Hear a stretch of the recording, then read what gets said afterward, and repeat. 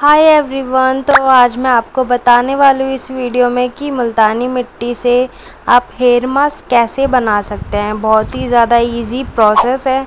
गर्मी बहुत हो रही है, आपको भी ज़रूरत होगी आपके बालों को अच्छा बनाने के लिए। एंड स्मूथ अच्छे से बाल हो जाएँगे हेयर मास्क से। मैं आपको पूरा प्रोसेस दिखाऊँगी एंड डेमो भी दिखाऊँगी तो कंटिन्यू वीडियो को देखते रहिए। तो चलिए स्टार्ट करते हैं। ये मुल्तानी मिट्टी हेयर मास्क कैसे बनता है? तो यहाँ पे मैंने अपने यूज़ के हिसाब से मुल्तानी मिट्टी ले ली थी एंड इसको रात भर के लिए भिगोने के लिए रख दिया था इस तरह। एंड सुबह भीग के ऐसी हो गई थी, मैंने इसमें ट्रांसफ़र कर लिया था इस कप में। तो मुझे ज़्यादा इजी हो रहा था इससे लगाने में। तो मैंने इसमें ट्रांसफ़र कर लिया था। अच्छे से मिक्स करूँगी मैं इसे पानी डालकर क्योंकि बहुत ज़्यादा गाढ़ी हो गई है। भीगने के बाद।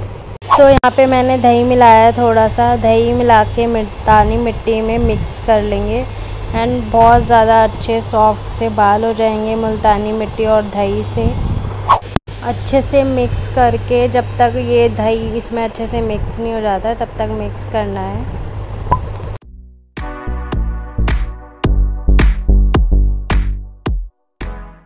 दैन मैं यहाँ पे अच्छे से अपने बालों को कॉम करूँगी डिटेंगल कर लूँगी ताकि मेरे बालों में अच्छे से मुल्तानी मिट्टी अप्लाई हो जाए। सो so गाइज़ मैंने अपने बालों को कॉम कर लिया है एंड डिटेंगल कर लिया है। अगर आप इसको डिटेंगल नहीं करोगे हेयर्स को तो आप इरीटेट हो जाओगे और मुल्तानी मिट्टी अच्छे से नहीं लगेगी। तो मेक श्योर sure आप अपने बाल डिटेंगल कर लीजिएगा, फिर उसके बाद आप मुल्तानी मिट्टी अप्लाई कीजिएगा अपने बाल पे। मुल्तानी मिट्टी का हेयर मास्क बनाए यहाँ पे तो आप देख सकते हैं, ये इस तरह का हेयर मास्क बन के निकला है। एंड मैंने इसमें कुछ नहीं डाला है, सिर्फ़ मुल्तानी मिट्टी को पानी से भिगोया है। एंड उसके अंदर मैंने थोड़ा सा पानी और मिला के इस तरह की कंसिस्टेंसी कर ली है, ताकि वो बालों में इजीली लग जाए। एंड उसमें मिलाया मैंने दही, और कुछ नहीं मिलाया, सिर्फ़ दही और मुल्तानी मिट्टी है।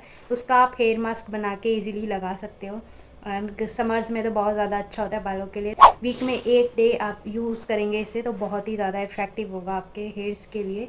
आपके जो जड़ में जो भी धूल मिट्टी होती है उसको ये हटाता है उसको ये रिड्यूस करता है एंड बहुत ज़्यादा क्लीन रखेगा आपके बालों को। सर को ठंडा रखेगा आपके बालों को गर्मी में। तो मैं यहाँ यहाँ इसको अप्लाई कर रही हूँ।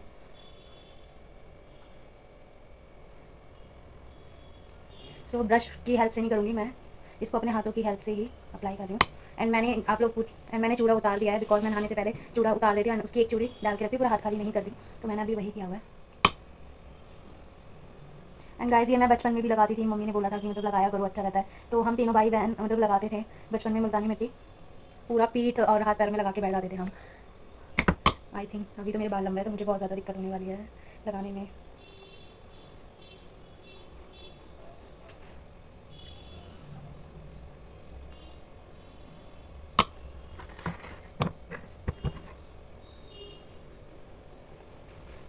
इस तरह से आप लगाते जाएँगे। एंड अभी से ही मेरे मेरे बाल इतने टाइट लग रहे हैं ना, बहुत ज़्यादा। बिकॉज़ मुल्तानी मिट्टी, सूखने के बाद थोड़ा टाइट हो जाती है और आपको इसको रखना है टेन टू फिफ्टीन मिनट्स रखना है। बस सूख, इसको बिल्कुल ड्राई मत होने देना। जब ये गीला गीला रहे कि आपको लगता है सूखने वाला है या गीला है तो तभी आप इसको वॉश कर लेना। गर्म पानी से मत वॉश करना।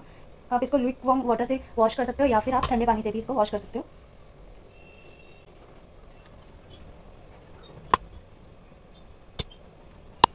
इसको लगा के इतना अच्छा लगता है ना ठंडा ठंडा, सर में जिसको सर में ज़्यादा गर्मी रहती है, वो अपने सर में इसको अप्लाई करेंगे, उनके लिए ज़्यादा बेटर रहेगा ये हेयर मास्क मुल्तानी मिट्टी मास्क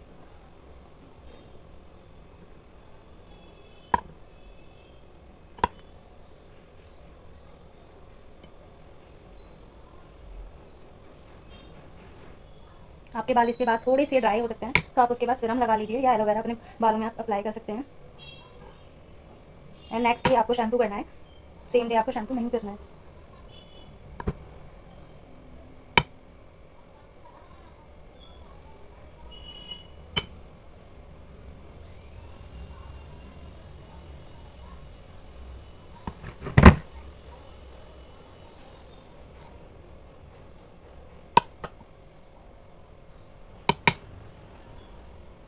देखो मेरे बाल कितने टाइट हुए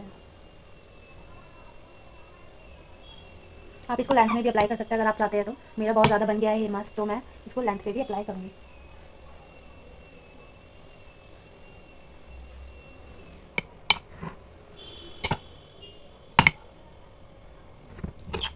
आप इसको हाथ पैरों में, गर्दन में, ये आपके टैनिंग हटाने में हेल्प करता है। जो बहुत ज़्यादा बाहर जाते हैं, वो थोड़ा सा टाइम निकाल के इसको अप्लाई कर सकते हैं। टैनिंग हट जाती है इससे एंड बहुत ज़्यादा फ्रेश फील करोगे आप इसको अप्लाई करके लगा के।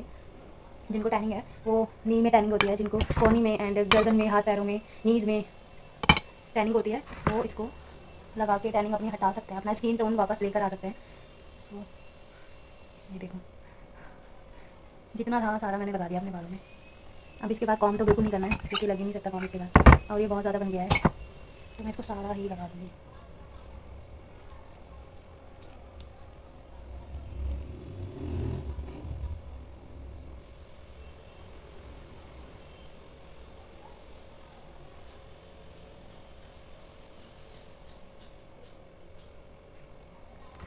ये जो भी बचा है, थोड़ा बहुत बचा है, मैं उसको अपने हाथ पैरों में अप्लाई कर लूँगी।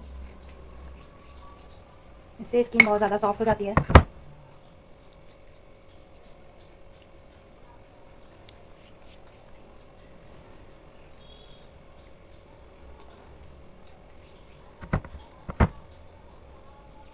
जब तक मेरे बाल भी थोड़े ड्राई हो जाएँगे, तब तक मैं इसको अप्लाई कर लेती हूँ। अभी लगाते हुए मुझे इतना सॉफ्ट फील हो रहा है ना, बहुत ज़्यादा। एंड ये मिट्टी है तो मिट्टी का आपको थोड़ा ऐसे फील होगा, जैसे मुलायम मिट्टी होती है, उस टाइप की मिट्टी है ये।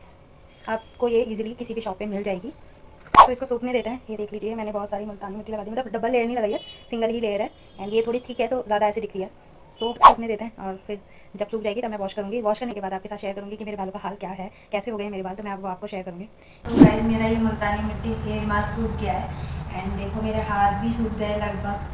सो so, मैंने यहाँ से हाथ धो लिए थे मुझे कुछ काम करना था इस वजह से। सो so, यहाँ से आप देख सकते हो।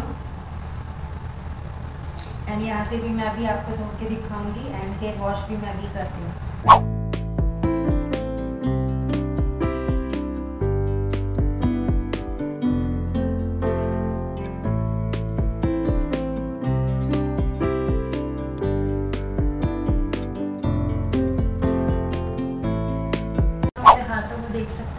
एकदम स्मूथ हो गया है।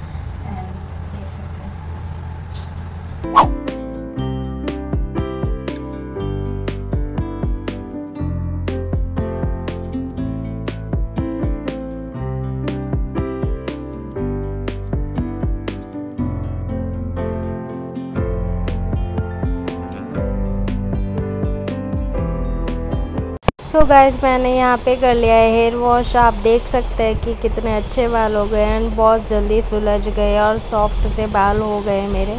मुझे तो बहुत अच्छा लगा ये मुल्तानी हेयर पैक आप लगाओगे तो मुझे कमेंट सेक्शन में ज़रूर बताना एंड मेरी वीडियो को लाइक करना शेयर करना और सब्सक्राइब करके जाना जो मेरे चैनल पे नए हैं। तो मिलते एक नई वीडियो के साथ, अच्छी वीडियो के साथ। तो तब तक के लिए अपना ख्याल रखना। मिलते एक नई वीडियो के साथ। Bye bye